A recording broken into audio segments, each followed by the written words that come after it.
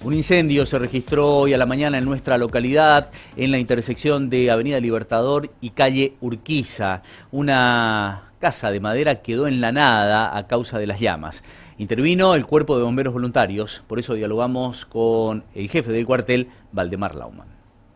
Bueno, en principio se recibió la llamada con la denuncia de, de un incendio de vivienda sobre la calle Urquiza en cercanías del ex Banco Nación y bueno, inmediatamente salieron las, las unidades, una autobomba y un camión cisterna, bueno, para poder hacer el trabajo de, extinción del, de esa vivienda que estaba eh, prácticamente en su totalidad con, con el fuego, ya había avanzado totalmente, es una vivienda de madera, chiquita, pero bueno, el miedo era la propagación al al garage del vecino donde tenía su vehículo, sus lanchas, sus cosas, que por ahí eso era un poco lo más riesgoso, ¿no? Pero eh, lo pudimos en forma rápida extinguir y bueno, controlar totalmente, así que eh, lamentablemente las, las pérdidas son totales por, por, por, el accionar del fuego, ¿no es cierto? Y bueno, eh, no hay mucho que hacer en estos casos, lo único que tenemos que controlar normalmente es la propagación a, a viviendas o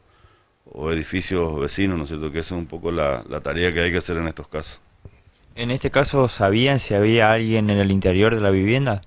Ah, lo primero uno sospecha, ¿no? Pero eh, enseguida se hace una inspección ocular de, qué es lo que hace el que va de punta de lanza, primer, el primer hombre, el más cercano es el que observa, ¿no es cierto? Porque eh, a ver si hay algo adentro, pero no, no había posibilidades porque, bueno, teníamos conocimiento de que en la vivienda en ese momento estaba deshabitada, ¿no? ¿Cómo se están preparando para este año nuevo? ¿Va a haber eh, guardia siempre eh, acá en los bomberos? Sí, acá hay los 365 días del año, las 24 horas del día, hay guardia permanente, hay mini dotaciones, necesito un chofer con el correspondiente personal para, bueno, ante una eventualidad poder eh, acudir lo más rápido posible. Pero también estuvimos mirando un poco los pronósticos del tiempo, bueno, van a favorecer en, en, la parte de vegetales y bueno, sí lo que recomiendo a la gente es que eh, cuidar los hogares, ¿no es cierto? Ya que todo el mundo hace el fueguito para, para el asado, el horno prendido y eso todo tiene por ahí sus riesgos, hay que eh, estar observando constantemente para no para evitar algún problema mayor, ¿no?